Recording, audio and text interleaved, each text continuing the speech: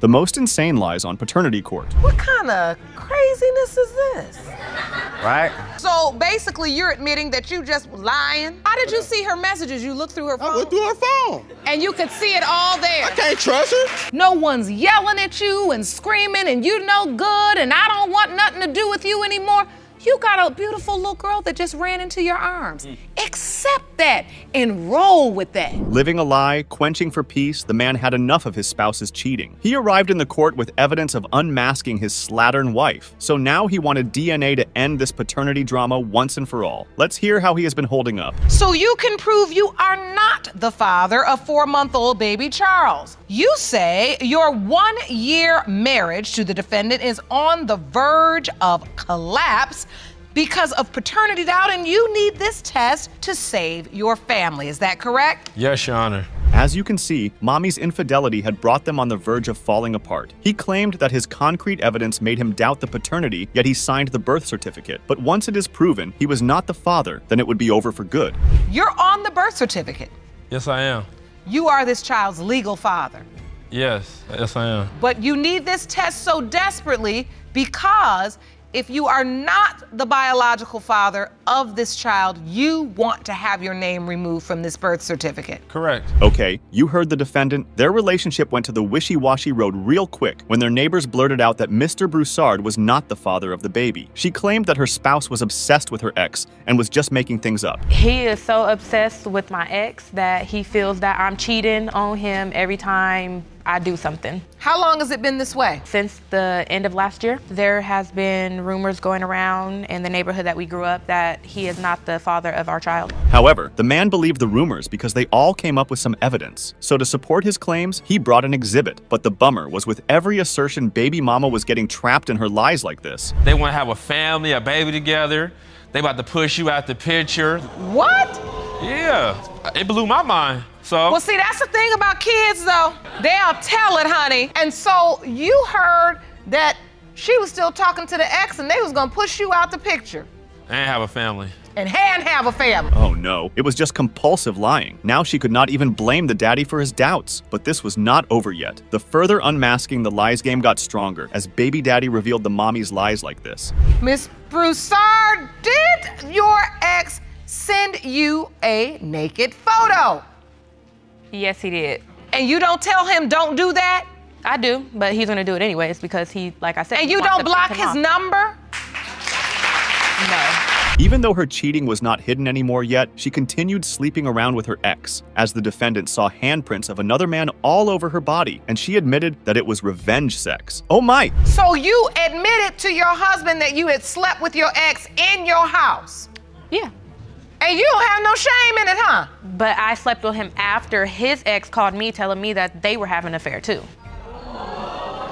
Oh, so the revenge sex. Yeah. Uff, F, this woman got some nerve. Instead of being ashamed of her wrongdoings and lies, she was defending herself. Anyways, Judge Lake heard enough of their testimony, so she determined that DNA was vehement in this paternity conflict. So let's get those results and see if they ended up on good terms or not. In the case of Broussard versus Broussard, when it comes to four month old Charles Broussard, it has been determined by this court. Mr. Broussard, you are the father. This case was outright palooza, as Mr. Hammond claimed that his debauched spouse had imperiled their marriage with compulsive lies. He claimed that baby mama was busy with another when she conceived the baby. Mrs. Hammond, you claim that after 10 years of marriage and repeated attempts to get pregnant, a month ago you finally gave birth to your miracle baby, Isaac. You need today's result to prove to the defendant, your husband, that this is his baby. Is this correct? Yes, Your Honor. Initially, the defendant shed light on the habitual lying part. He claimed that his spouse had numerous guys in her life. She had a habit of manipulating people. Even she had made him a fool in their whole marriage of 11 years. But now it's time to show that's enough. She's had multiple partners, and um, she, she lies to my face constantly, So you say she lies to you all, all the time, all the time. So the marriage has come to this? I can only be the fool It turned out that Mrs. Hammond's promiscuity was at the peak that even her lovers gave the red flag to the defendant and dropped him a video of them banging his wife, but mommy tried to wipe it like this. What did they tell you? What happened? I've, I've seen a video of my wife giving oral to, to another man. That is such a lie. There is no video, Your Honor. There is no video. But was there a man and was there oral sex? in, in all honesty, um, there has been cheating on both sides. My husband cheated on me first. I took it the wrong way. About a year after that happened, I did end up, I, I've cheated on him. So, to prove his claims, the potential daddy brought evidence, which alleged that Mr. Hammond caught his wife texting another, which raged him, and he ended up posting something on Facebook. Ooh, that should not be posted on social media. Is what exactly? It's um conversations with my wife and another man that, that, that should not be spoken.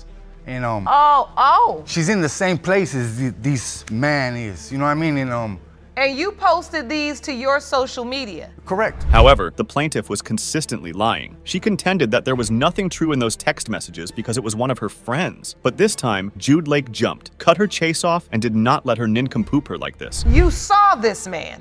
Um, yes, I did. I met him at our local county park, um, said hello to him. It was a friend that we had both worked with. It ain't that many kissy faces in the world that you got to type after you meet a coworker at the park.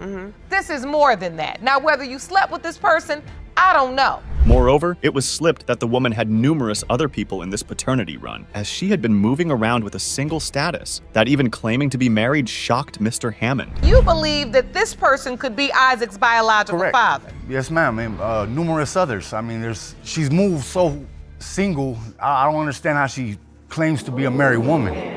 One after another, mommy's lies were being caught, so Judge Lauren jumped into the birthday party. It was disclosed that the man did not help her even when she was about to give birth. He abandoned her and went to the casino with another woman. He, um, I said, okay, are you gonna bring me to the hospital? He said, no, drive yourself. He left me at my house. He left, and went to the casino with another woman. He didn't show back up to the hospital until 20 minutes before I gave birth. Um, stayed for about maybe 45 minutes and he left again. I didn't see him until the next day. But the husband denied the claims and stated there were no other women with him because he went to gamble only. Ugh! This weird part triggered Judge Lake, so she reacted like this. I was at the casino gambling. I wasn't with another woman. Well, why were you at the casino gambling if your wife's giving birth That's a good to the question, baby you right? prayed for? Right. I, I can't. I can't have an answer for that one because I don't know. What kind of craziness is this? Right. Apparently, mommy was trolloped and her unfaithfulness had made things go south. Still, the potential dad claimed that his spouse cheated on him with multiple men, even if it could be 13, 16, or more, because mama lied and swindled a lot. Mrs. Hammond, how many times have you cheated? I've been with three other people. I, I know at least six that, that, that she's been with. He, Oh. he believes that's so many I believe people. you've been with more than six. I believe you've been with 13. Then again, he 16. Even though Miss Hammond's cheating had left her marriage at a vulnerable point, the only way to determine the truth about the baby was to uncover the secret DNA envelope was holding. So let's get those results. It has been determined by this court. Mr. Hammond, you are the father.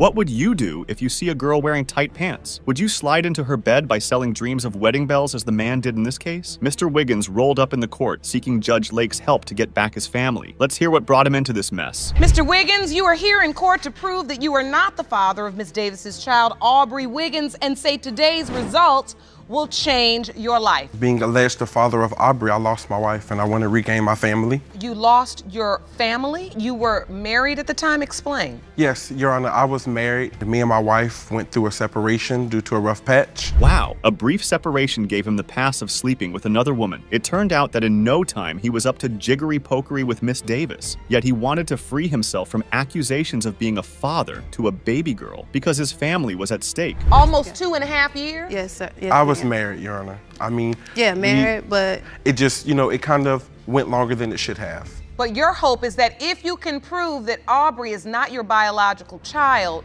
that you can convince your ex-wife, which is you know, the woman, I guess she left because of this situation? Yes, ma'am. Further, the defendant claimed that they were in a committed relationship for two years, and the man admitted to manipulating and lying to this young lady for his gain. Yet blaming her was the reason he lost track of his family. Oh my, what type of man is he? I knew I was in a relationship. You did? Two and a half We years we was together. And you might have gotten more than you bargained Right, for, right? He did. He did. A child. And so why did you think you were in a relationship, Ms. Davis? He stated that multiple Did you times. was he telling you there was going to be a future?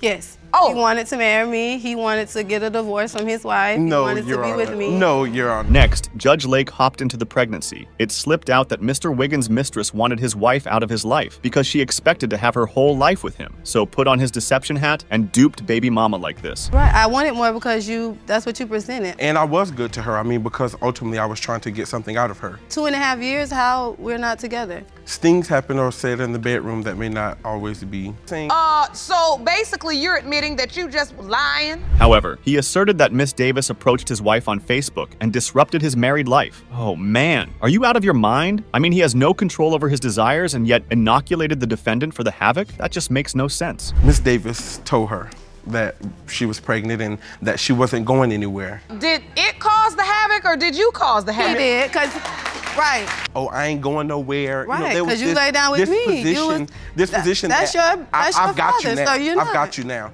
and that's the demeanor I felt she had. Okay, so the next chronicles of Wiggins started. He claimed that the mommy had been busy with another man at the time she conceived the baby because he sent some text messages on her phone. So that's why he was denying paternity. We got into a bit of an altercation. I don't remember the exact details, and my family member seen her be picked up by another guy. That was my cousin. that I she claims to be her cousin. And this guy inboxes about meeting her again, and she's telling him, "Oh, I need some more I never loving." slept with him, so to me, To prove his sham show right, the alleged father brought an exhibit to the court. He alleged that Miss Davis had fabricated his name on the birth certificate, but how she forged his name was quite interesting. Duh. But the baby's mom wiped off all his lies like this. this is the birth the birth date that's listed on Aubrey's birth certificate.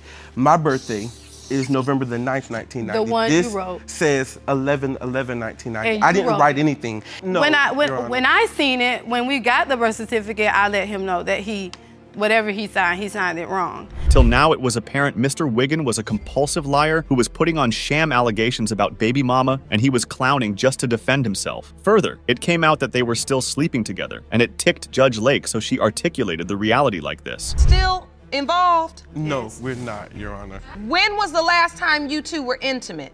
It's been a while. Last night.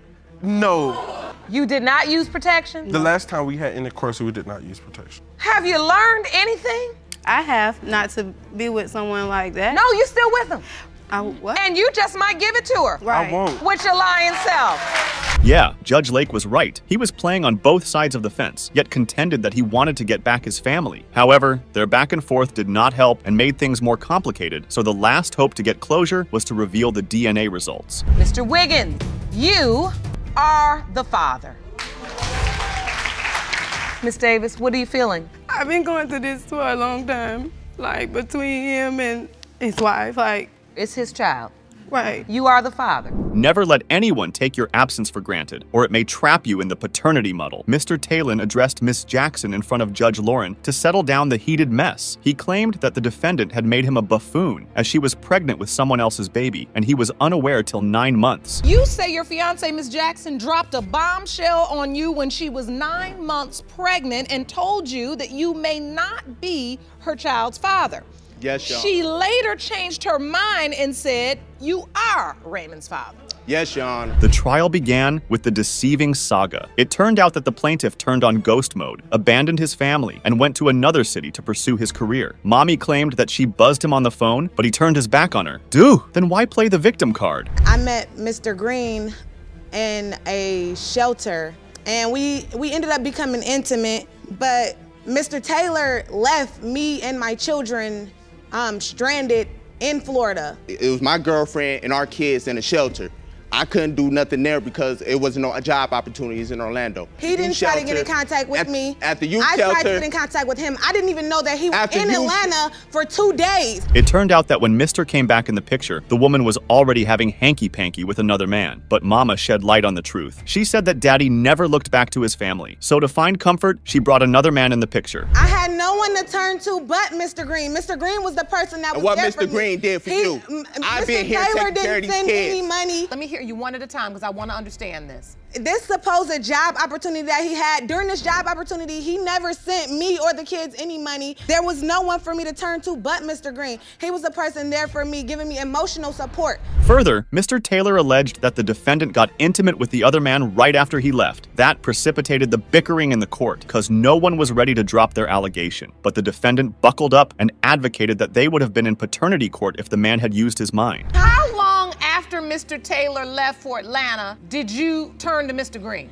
A few weeks. Three days later, she was pregnant by October 12th. I left September 14th. If he would have never left us there in the first place, this whole situation could have been avoided. If he would I have left just been a because they was man about the shelter. situation. The next plaintiff stated the facts that intervened in his doubts about the baby boy. It slipped out that he was unaware that his girlfriend had conceived another man's child until an anonymous person hit him up and dropped the bomb of, You are not the father. Well, a guy that was on Facebook, he inboxed me, basically telling me that LaJoy was pregnant by Mr. Green. Now, have you talked to her? You've been talking to her on the phone? Yes. And she's never mentioned I'm pregnant. No. The only reason that I did that, Your Honor, is because I was I felt as if I was holding on to the last strand of our relationship. However, Mr. Taylor disclosed that he has caught baby mama texting the other man. He told that she tried to settle with Mr. Green, but he denied the baby, so the mommy decided to make him adult and pin her child on him like this. Who is she texting?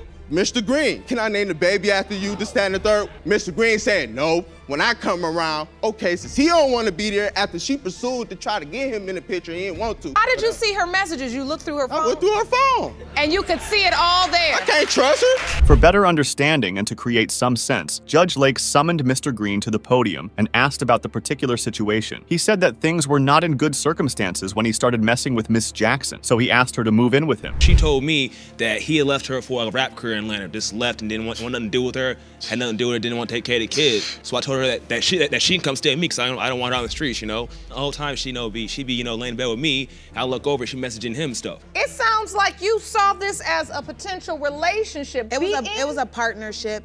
Shaq, But- uh, From cheating to being caught red handed, it revealed that the defendant changed her mind when she was kicked out of Mr. Green's house and got back with Mr. Taylor. But Mama denied the saga and shouted to her core to prove her point like this. You move in with I Mr. know. Green. Yes, Your I Honor. At what point do you go back to Mr. Taylor? When he dropped her, No, he didn't drop me. I left. I he left. dropped her. No, I left. You did ask her to leave the house.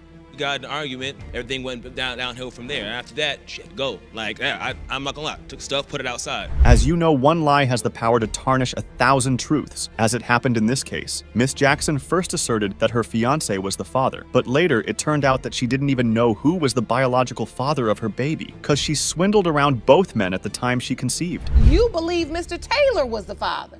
Your Honor, I, I don't know which one is the father because Okay. I had sex with both That's of them. all- around That, that time. it is. bottom line is, is you really don't know. You Yes, told him he was the father.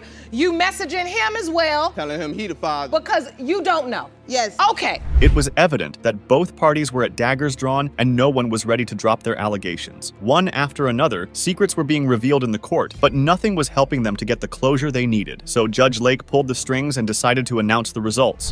When it comes to three year old Raymond Taylor, as to whether his biological father is Mr. Taylor or Mr. Green, it has been determined by this court. His biological father is Mr. Green.